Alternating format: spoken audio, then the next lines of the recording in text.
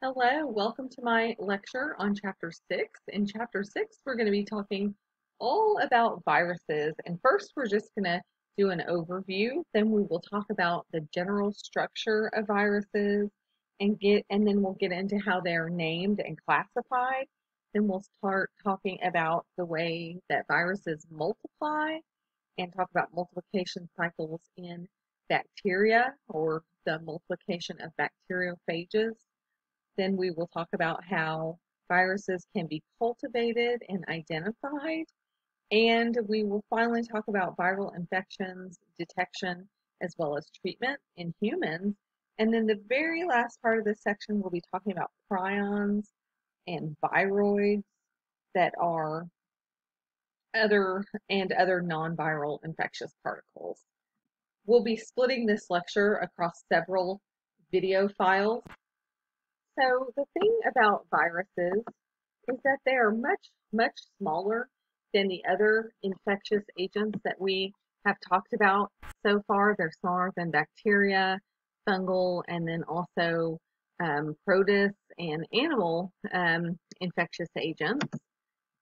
So even though the light microscope was developed in the late 1600s and we were able to look at other types of cells, viruses are so small that it wasn't until the invention of an electron microscope that viruses could actually be viewed. And so at one time, viruses like polio and smallpox and rabies and some of the viruses that infect plant crops as well as animals in agriculture were known to be caused by something that could be transmitted from one organism to another but the cause itself was not known. So there was a lot of research and experimentation that was being done trying to figure these things out. And there were people like Pasteur and Ivanovsky and Beijerinck who were looking into these disease causing agents.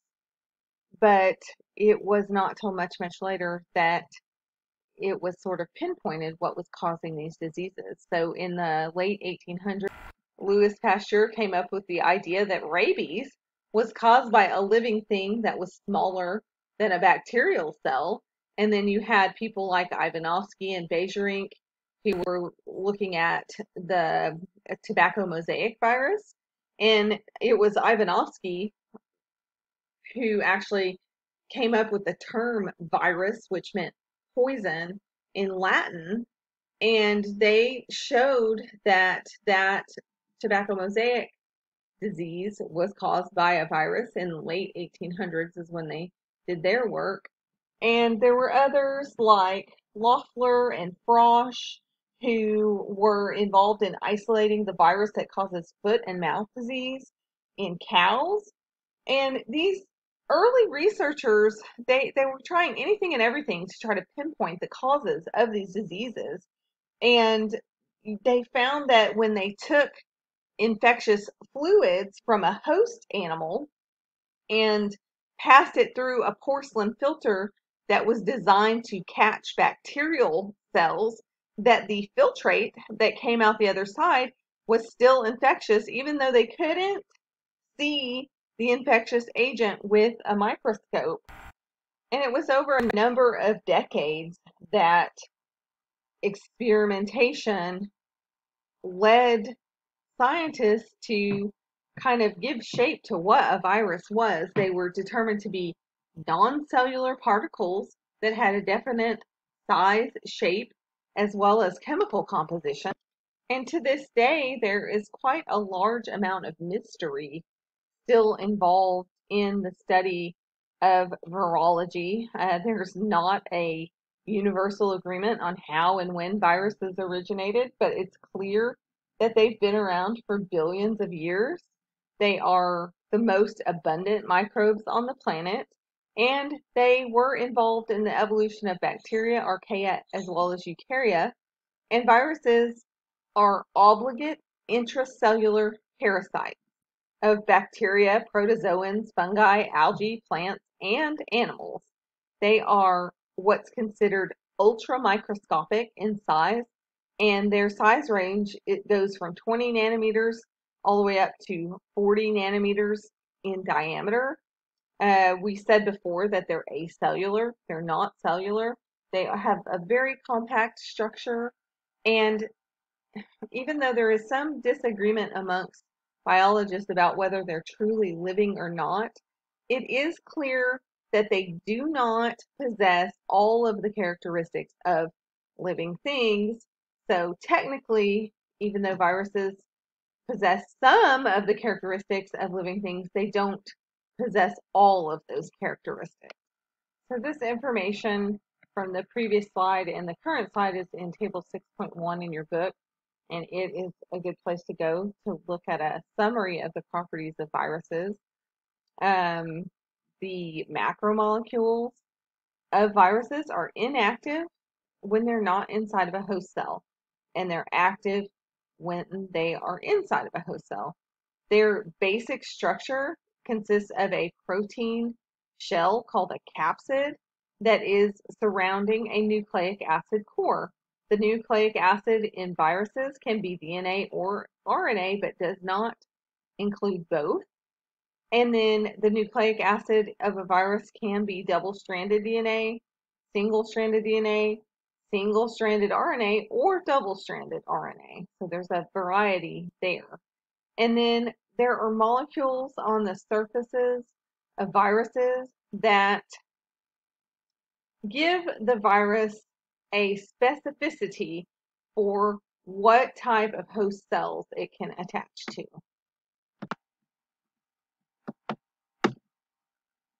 Okay, so this is the last part of the table.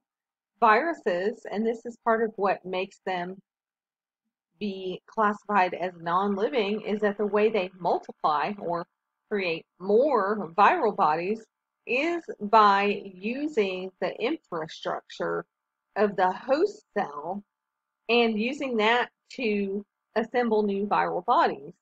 They also lack the enzymes needed to carry out most metabolic processes or to catalyze most biological reactions, and they also don't have the necessary uh, structures in order to make proteins.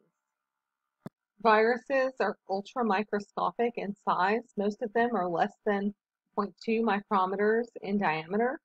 So a an electron microscope in combination with um, specialized stains is usually how they are viewed.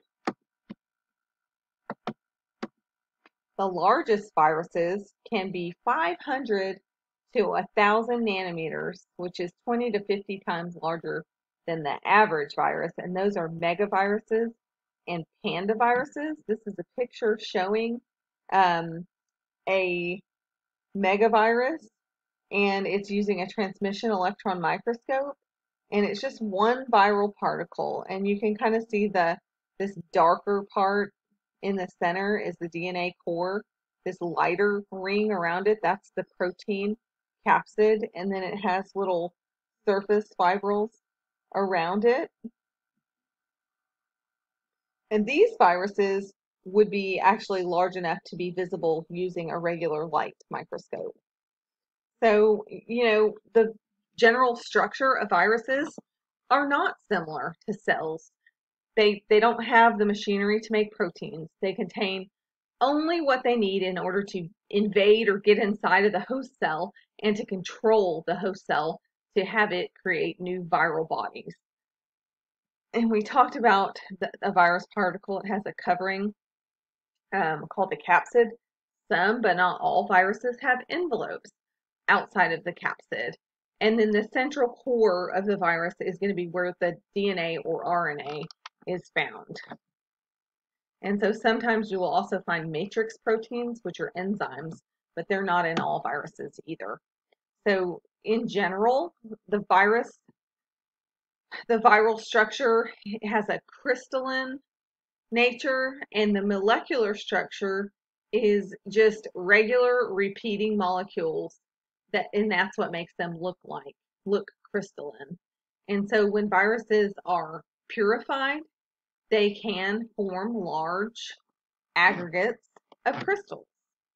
All viruses have capsids, which is that protein coat that encloses and protects the nucleic acid.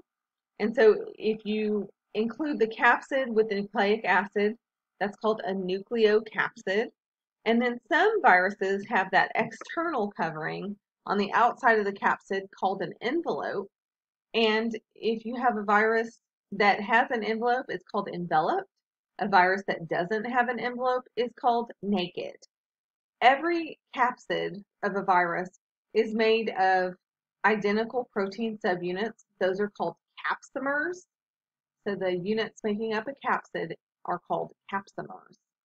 This is a naked nucleocapsid virus.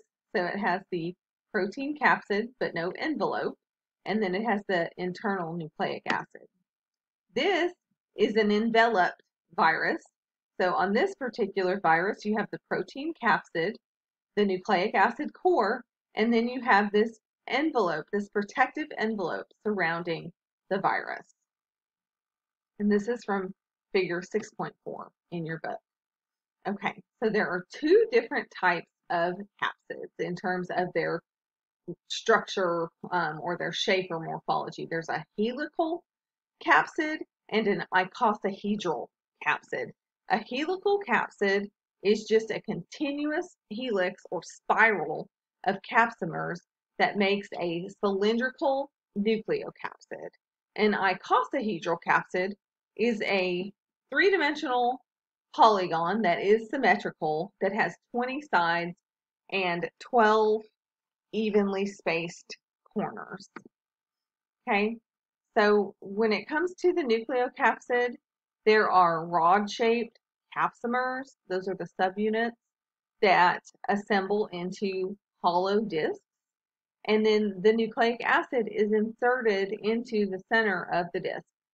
The elongation of the nucleocapsid happens at both ends as the nucleo nucleic acid is coiled in the middle. So this is both a, an electron microscope view and a schematic of an enveloped helical virus, influenza virus. And this is, you can tell this part in the center about helical with the, um, the this is the helical nucleocapsid. And then you can see a very well developed envelope surrounding it. The arrangement of the capsomers in the capsid of uh, icosahedral viruses can have a wide variation, and they can also be varied in the number of capsomers included in the capsid. So during the putting together or assembly of an icosahedral virus, the nucleic acid is packed into the center of the polygon or the icosahedron, forming the nucleocapsid. And this picture is showing the icosahedral shape, and you can see it better in this drawing here. You have your sides here, and then this is a schematic of the exterior of it. And you can see the capsomers here in blue, the repeating capsomers. And then you can see these fibrils or fibrous spikes. And there's a spike everywhere that there is a vertex, there's a spike. And this is an electron microscope image of it. And you can see that it's using a negative stain, which allows you to see the texture and then some of these fibers that have actually fallen off of the virus itself. And icosahedral capsids can be naked or enveloped. Rotavirus is an example of a naked virus. And then herpes simplex is an example of an enveloped icosahedral virus.